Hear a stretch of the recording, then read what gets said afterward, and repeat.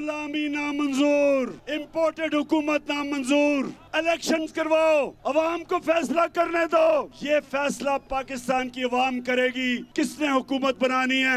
ये अमेरिका और वॉशिंगटन फैसला नहीं करेगी। मियाँ वाली के लोगों, जब मैं कॉल दूँगा इस्लामाबाद की और वो 20 तारीख के बाद किसी दिन भी मैं आपको कॉल दे सकता हूँ। ये जो डाकुओं की हुकूमत आई है, अगर इन्होंने कंटेनर रखे तो हटा दोगे। जब तक ये चोर जेलों में नहीं जाएँगे, इंशाल्लाह इमरान खान इस मुल्क के लिए जहाद करता रहेगा इन चोरों के खिलाफ। इम्पोर्टेड हुकूमत नामंजूर। पाकिस्तान में इकतदार का फैसला अमरीका नहीं आवाम करेंगे। इमरान खान का मुल्क में फौरी इंतबात का मुतालबा। जमीर बेचकर बैरूनी साजिश कामयाब करवाने वालों को शर्म आनी चाहिए। लोटों का वो हशर करेंगे कि मुंतब नुमाइंदे ज़िंदगी भर। वोट बेचते हुए डरेंगे। इस्लामाबाद मार्च की कॉल 20 मई के बाद किसी भी वक्त आ सकती है। कप्तान ने मियाँ वाली के अवाम से शहर इकतदार पहुँचने का वादा ले लिया।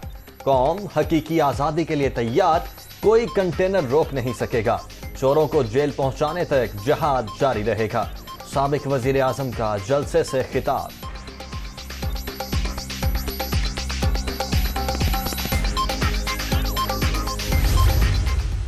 अगर आज वो उनके साथ चले गए हैं तो इसका मतलब कि उनका ये तो आइडियल नहीं था रूल ऑफ़ लॉ वो भी समझते थे कि पावर में आके तो वो पावर की प्रिविलेजेस उन्होंने इस्तेमाल करनी थी। अनफॉर्चुनेटली जहांगीर का फंस गया इशू वो चीनी की, जब कीमतें ऊपर गई तो जब शुगर माफिया के ऊपर पहली दफ़ा इंक्वायरी बैठाई तो उधर डिफरेंसेस आ गए। अलीम खान का ये है कि उन्होंने 300 एकड़ ज़मीन ले ली रावी के अंदर। वो लीगल करवाना चाहते थे और रावी के बेड के ऊपर इलीगल है ज़मीन। प्लस उनके केसेस नैब में भी थे, उनके केसेस ये पेंडोरास पेपर में भी उनका नाम आ गया।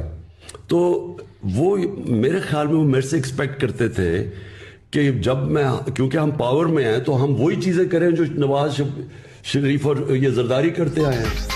इख्तलाफात के बाद इमरान खान के पुराने साथियों पर इल्ज़ाम जहांगीर तरीन का मकसद इकतदार में आकर फ़ायदा उठाना था। शुगर माफिया के खिलाफ इंक्वायरी की तो इनका केस सामने आ गया। अलीम खान रावी में 300 एकड़ अराजी लीगल कराना चाहते थे। इन्हें उम्मीद थी जरदारी और नवाज़ शरीफ की तरह पावर में आकर सारे गलत काम जायज़ हो जाएँगे। यहाँ से अख्तलाफात शुरू हुए। टिकट होल्डर से हुकूमत में आकर कारोबार न करने का हल्फ लूँगा। अमरीका को पाकिस्तान में जी हजूरी करने वाले मिल गए। पार्लियामेंट में अक्सरियत मिलेगी तो ही इकतदार में आऊँगा। सबक वजी अजम का सोशल मीडिया पर इंटरव्यू।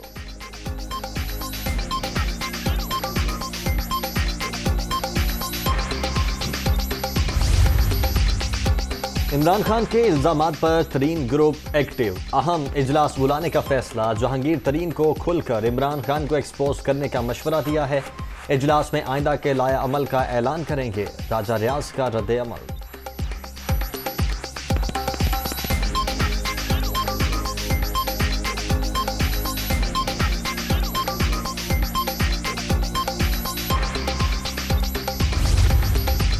मौजूदा वज़ीर अजम को एक सौ तिहत्तर अरकान की हिमायत हासिल। तीन मेम्बरान शहबाज शरीफ के साथ चलने को तैयार नहीं। हुकूमत 20 मई से पहले फारिग हो जाएगी। फवाद चौधरी का दावा, नाम नेहाद पंजाब हुकूमत को कोई भी तस्लीम नहीं करता। इलेक्शन कमीशन मामले पर संजीदगी का मुजाहरा करे। पीटीआई रहनुमा की न्यूज़ कॉन्फ्रेंस।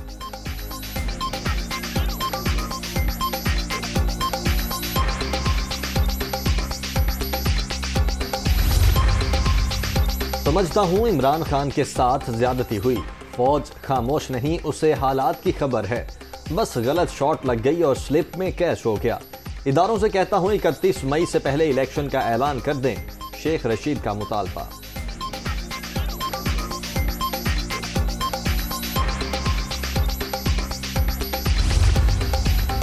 इमरान खान की एहतजाजी कॉल गेम चेंजर साबित होगी। चौधरी परवेज इलाही की सियासी माहौल तब्दील होने की पेशगोई।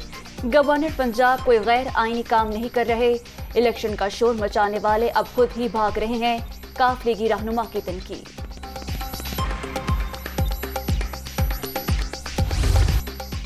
नून लीग भी अवामी रबता मुहिम पर। फतेह जंग में सियासी पावर शो, मरकजी स्टेडियम में मैदान सज गया।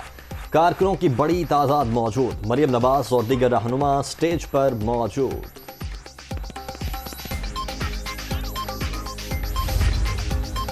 हफ़्ते की छुट्टी बहाल नहीं होगी। हुकूमत फैसले पर कायम। वज़ीर आज़म की मंजूरी के बाद नोटिफिकेशन जारी। सरकारी दफातर के औकात कार में कमी। मुलाजमीन सुबह आठ से तीन बजे तक काम करेंगे। जुमे के रोज दोपहर एक बजे छुट्टी होगी।